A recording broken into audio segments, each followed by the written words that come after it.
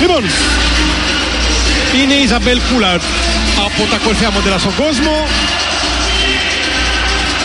Ένας από τους αγγέλους μιας μεγάλης μάρκας γυναικείου ρουχισμού.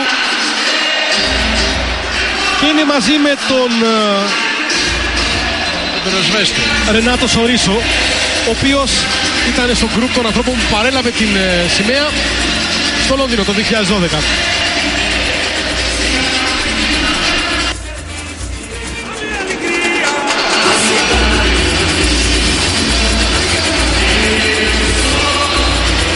Ιζαμπέλ Γκούλατ,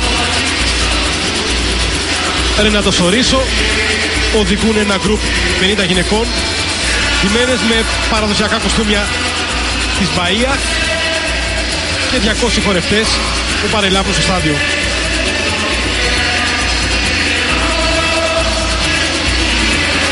Το δημοφιλές καρναβάλι είναι ένα από τα μεγαλύτερα σύμβολα του Rio de Janeiro. Μαζί με τα πάρτι στους δρόμους, τα οποία μεγαλώνουν και για το πιο δημοφιλή κάθε χρόνο.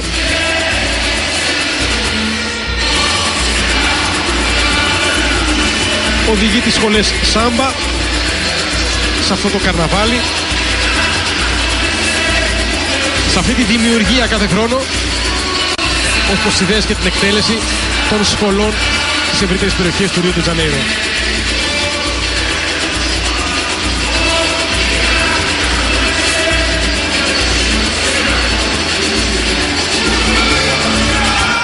Ο Γκάρις Σορίσο είναι οδοκαθαριστής στην καθημερινότητά του αλλά μετέχει κάθε χρόνο στο καναβάλι του Ρίο με τους δικούς του ανθρώπους, τους δικούς του χορευτές στο Σαμποδρόμιο.